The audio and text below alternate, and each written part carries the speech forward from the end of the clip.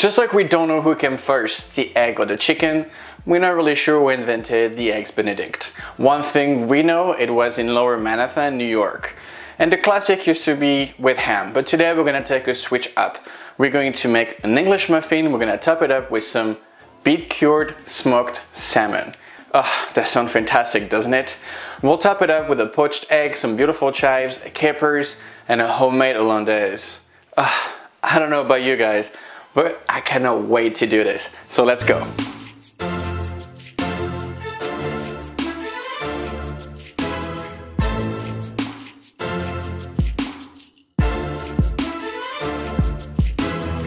Let's start working on the pickled shallots. Okay, so we're gonna start with the pickle. In a saucepan, we're going to bring our sugar, water, and vinegar. It's one to one to one. Again, recipe is always in the comment below.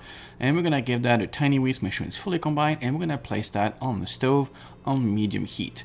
Then we're gonna add a sprig of rosemary, a bunch of spices, coriander and long pepper, give that another tiny whisk, and we're going to start working on our shallots while it's steeping. So we're gonna peel that beautiful shallot and we're going to slice it on a mandolin super super thin, like paper thin.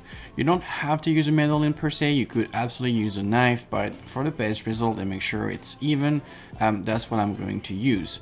Once it's uh, all sliced, I'm going to use a scraper because we don't want to hurt our knife. We want to make sure it's nice and sharp. We're going to place it into a bowl and then we're gonna grab the pickling liquid and we're gonna pour it over the shallots and it's gonna start pickling right away. We're gonna let it cool down until we need it later on. Alright, now let's cut the chives for the garnish. I was debating on show you guys how to do it because I feel like by now you know how to do it. So if you're new to the channel, please make sure you do the claw so you don't hurt your fingers. Make sure it's nice and sharp so you don't bruise your herbs. And that's about it for that part. Before we start to get to the technical things, let's make a quick fennel salad. I love that part. That fennel salad is going to make our dish. So we're going to split our fennel from the top to the bottom cut it in half and we're not going to throw the top because this is also very delicious. So we're going to split the fronds because we're actually going to put them in the salad. Back on the mandolin, again, you can do it with your knife. We're going to slice the fennel super, super thin, paper thin, and place it into a bowl with cold water so they're gonna stay nice and super crispy. All right, now things gonna start to get heated. Let's work on the hollandaise. Alright, now it's time to pay attention because it's definitely the most intense part of this dish, but come on, it's not that difficult. We're going to take our butter, place it in a saucepan, and we're gonna melt it all the way. You see that milky froth on top? That's not good. So you're actually going to separate it, okay? So you're gonna remove the milk solids from the fat. It's called clarifying. This is what we're doing right now, until it's completely clear. Once you have that clear liquid, you're gonna pass it through a sieve and you're gonna reserve that butter to cool down a little bit so we don't actually overcook our eggs when we're emulsify the hollandaise. Alright, now that we're done with the butter, let's work on the eggs. We are going to separate our eggs. Okay, so you can do it the classic way, just going from one shell to another, or you can also use your fingers. So you're pretty much gonna use your hand and the white's gonna go through. If you do that, just wash your hands. This is all I'm asking. I'm going to take a lemon and I'm gonna squeeze the juice out with the eggs and this is how we're gonna form of sabayon. Okay, so that's a technique that we are going to use right now. Okay, so we're gonna place our eggs and lemon juice on top of a double boiler and we're gonna start whisking until it creates like a really thick white paste. You wanna make sure you don't overheat your egg, so place your hand underneath and if it's too hot then it might curdle your egg, so just be safe. That step is actually super crucial, so do not stop whisking until it's actually quite thick. Now we're gonna start the emulsification. So we're gonna actually take that clarified butter we did earlier and we're gonna pour it onto our eggs and whisk it. You want to be very slow, okay? You don't want to pour it too, too fast or else it may split. So just be careful.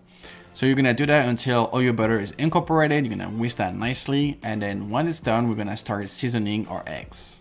We're going to add some salt, some pepper, and ideally some espelette, which is a chili powder from France. But if you don't have any, you can use any chili powder that you have in your pantry or that you like. And we're gonna emulsify that, put it to the side, and also cover it so it doesn't create a skin on top. All right, we're about to be ready. I'm going to poach some eggs. I've also brought some beautiful capers. Here we have some salmon, which has been beet cured from my friends at the Smoke Block. And here we have some beautiful English muffin. And you can probably check out this video if you want to see how to make them. And I'm just gonna slice it in half and I'm just gonna toast it nicely. let's do it.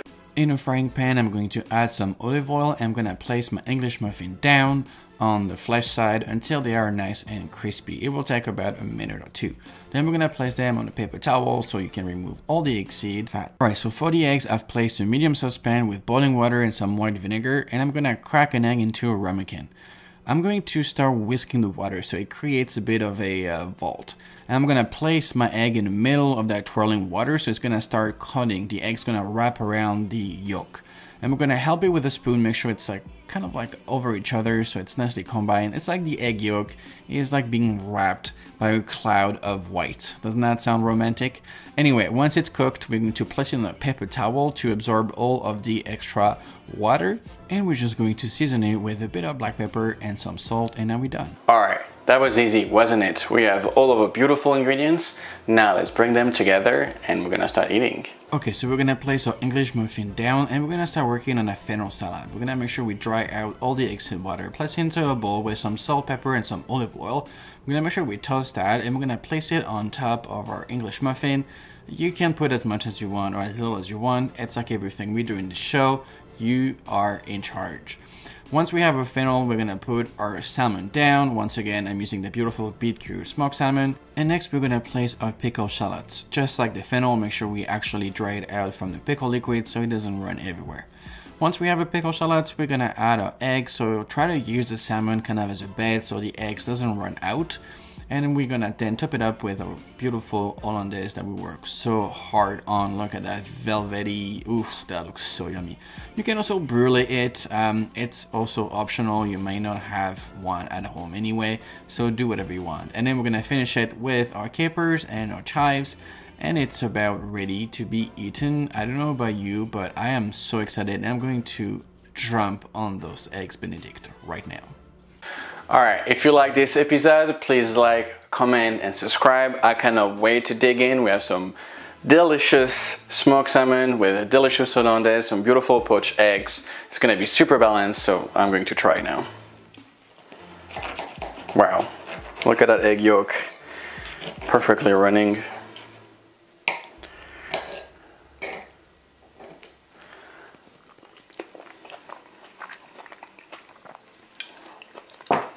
I mean, come on.